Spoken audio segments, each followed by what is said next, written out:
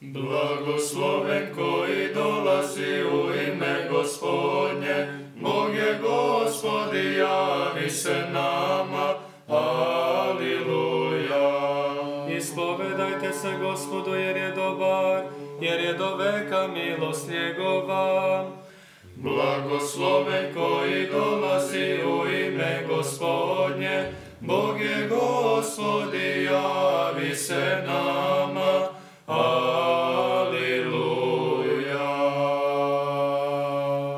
Treći sin svetog kralja Stefana Prvovenčanog bio je Stefan Uroš I.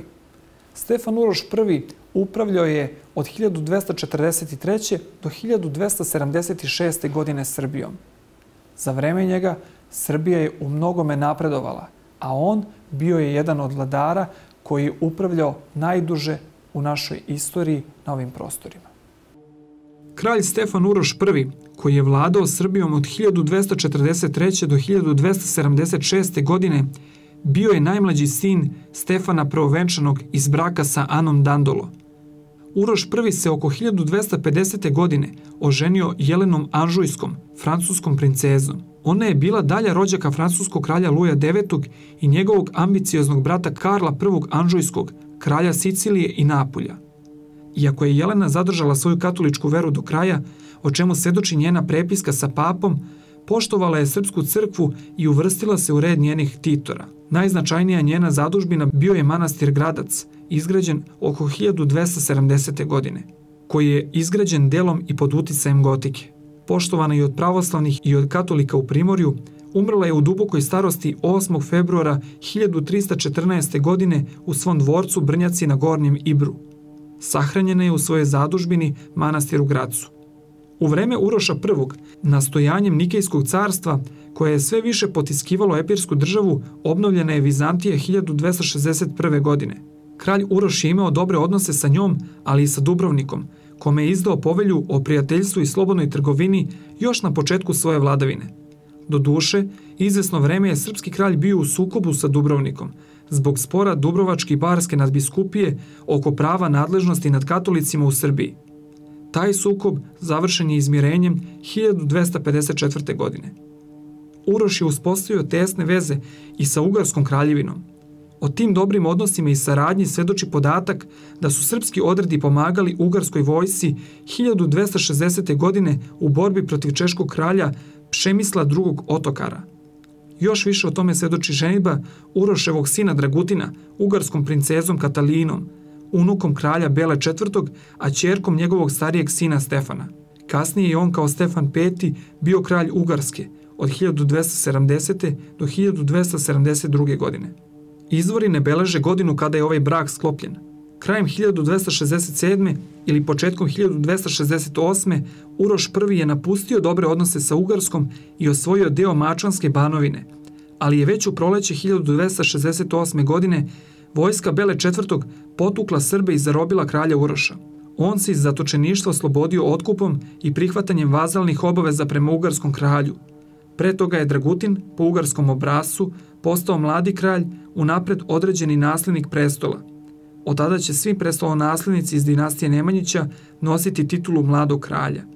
Sukob Uroša sa sinom Dragutinom izbio je 1276. godine, upravo zato što je kralj odbio da sinu izdvoji deo države kojim bi upravljao kao mladi kralj, kako su to činili ugarski kraljevi. Dragutin je zato pozvao u pomoć ugarsku vojsku i pobedio oca u zemlji zvanoj Gacko. Uroš se povukao u Hunsku zemlju, tu se zamonašio i kao monah Simon umro 1. maja 1277. godine. Telo mu je kasnije preneto u zadužbinu Sopoćane nedaleko od Rasa, koju je podigao oko 1255. godine. Kralja Vladislava na prestolu nasleđuje njegov brat Uroš I, koji je bio sin Stefana Provenčanog iz braka sa Anom Dandolom, unukom metačkog dužda Henrika Dandola. Uroš I će vladati preko 30 godina Srbijom i jako je mlad došao na presto, kažu istoričari, sa 25 godina tek, vrlo dobro je znao u kom pravcu njegova politika treba da ide i kako treba da vlada. Za razliku od svoje braće, Radoslava i Vladislava, on nije bio vezan i za jednu političku opciju posebno, već se poput Stefana Prvovenčanog i Stefana Nemanje prilagođavao okolnostima i prilikama koje su vladale na Balkanskom prostoru u jednom širem kontekstu, dakle, u njegovom vremenu. U njegovo vreme, što je veoma značajan podatak, dolaze u Srbiju nemački rudari, čuveni Sasije, koji dižu tu granu privrede na jedan visok nivo, što istovremeno predstavlja i ogroman zamajac za uspon srpske države. Počinje se sa, zapravo nastavlja tradicija kovanja novca, koji je jedno vreme čak bio i u Mletačkoj republici prihvaćen kao validna valuta. Uroš je nastojao da proširi teritoriju Srbije u pravcu ka Vardarskoj dolini i Podunavlju, što mu je e, i uspevalo. Ulazi u sukob sa Dubrovnikom, a ostalo je poznato da je uspeo da reši i čuveni sukob između Dubrovnika i Bara oko e, crkvene jurisdikcije. Naime, Bar je bio u sastavu srpske države, a Dubrovnik ne.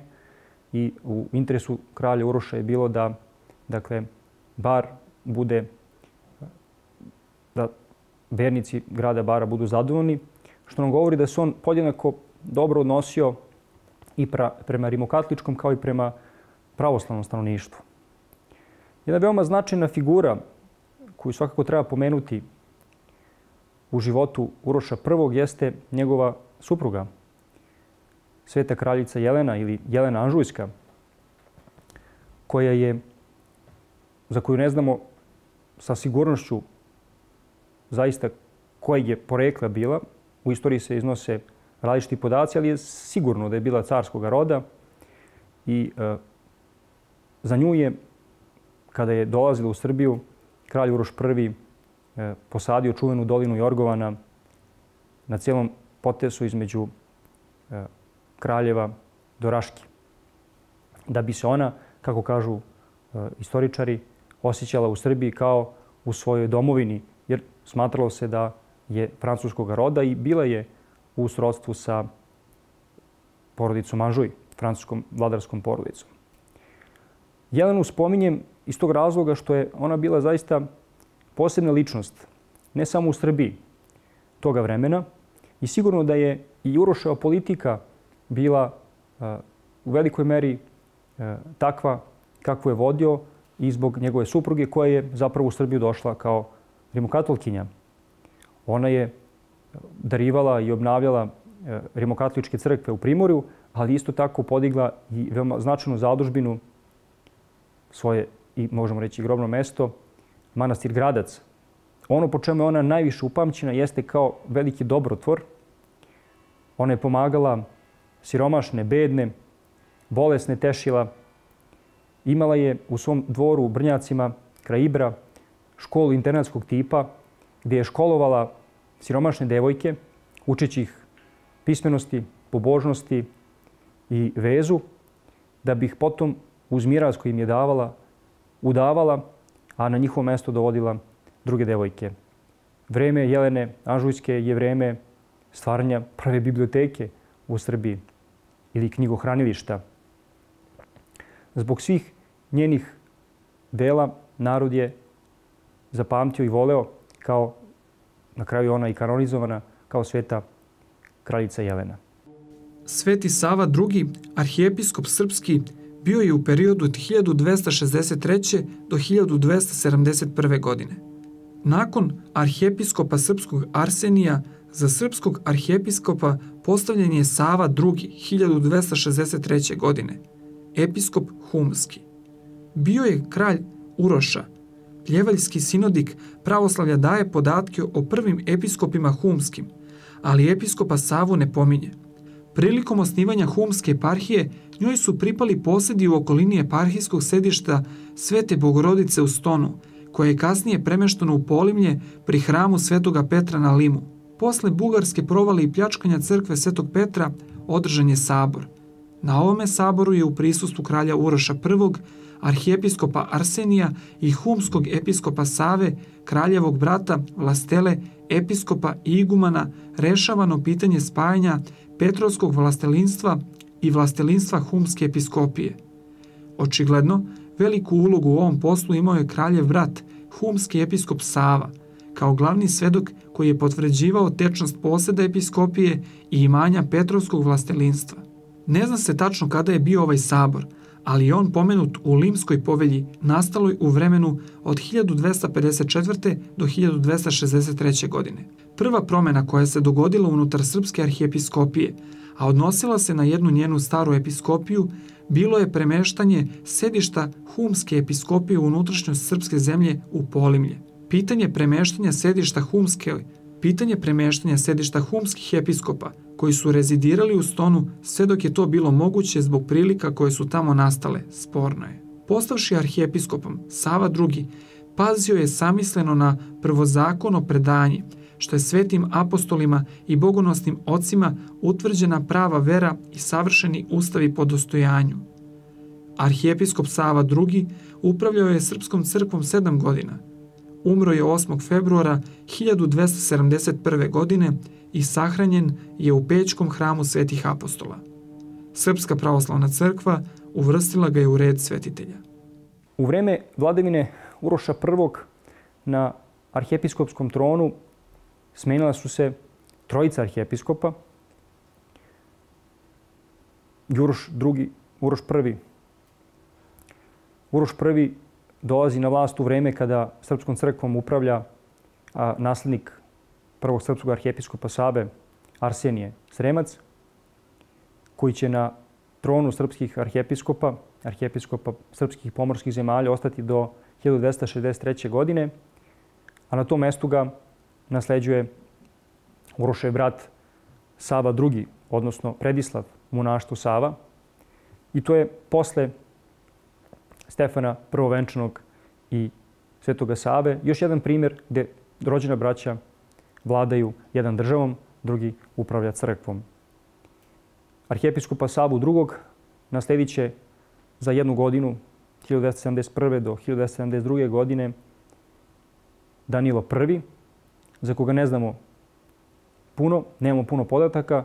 Kaže se za njega da je bio pravičan i dobar upravitelj crkvom, ali da se zbog nekog slučaja koji mu se dogodio, da je bio slonjen sa trona.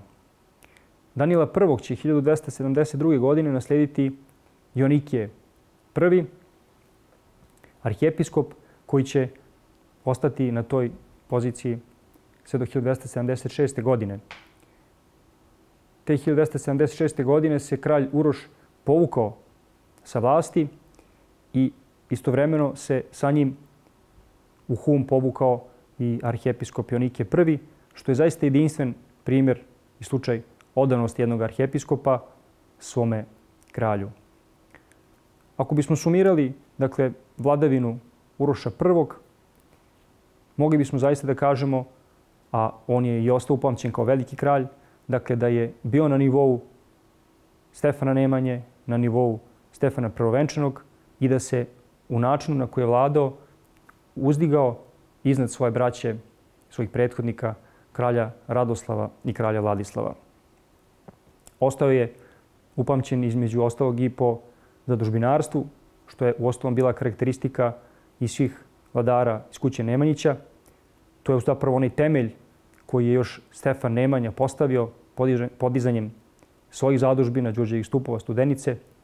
Dakle, Uroš I podigao je manastir Sopoćane, manastir koji je poznat po monumentalnom slikarstvu, po izuzetnoj lepoti freskopisa, ne samo u Srbiji, nego i širem prostoru vizantijskog utica i vizantijske umetnosti toga doba, zaista, zaista neprevaziđen. Jedan primjer je monumentalna kompozicija uspenja Preste Bogorodice, koja je velika 4,25 puta 6,30 metara. Dakle, na zapadnom zidu ogromna kompozicija i izuzetan primjer jedne skladne istorijske e, kompozicije. Dakle, Sopoćeni takođe jedan od manastira i crkava posjećen Svetoj Trojici, koji pripada ovom raškom stilu koji su Nemanjići zapravo i uveli u Srbiju, koji, je, koji karakterišuje mešavina vizantijskog i romaničkog načina, načina izrade. Istoj grupi pripada i manastir Gradac, zadužbina kraljice, svete kraljice Jelene, koji se nalazi nedaleko od Raške, podno e, planine Golije, posjećen je manastiru Blagovestima e, i karakterističan je jako e, pravoslavan, dakle po nekim gotskim rešenjima u arhitekturi.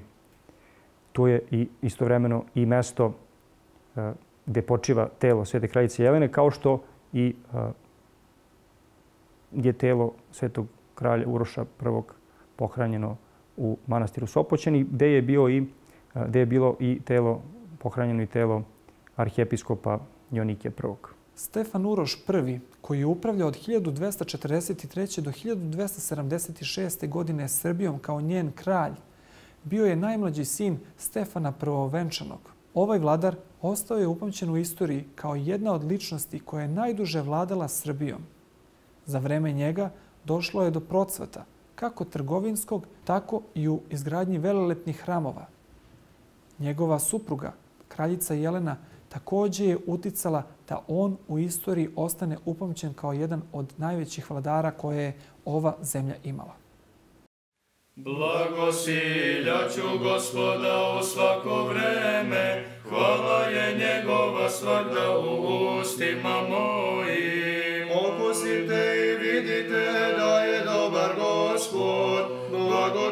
Čoveku koji se nada u njega. Budite če da poslušajte mene, strahu gospodnjem naučit ću vas. Blagosiljaću gospoda u svako vreme, hvala je njegova svakda u ustima mojim.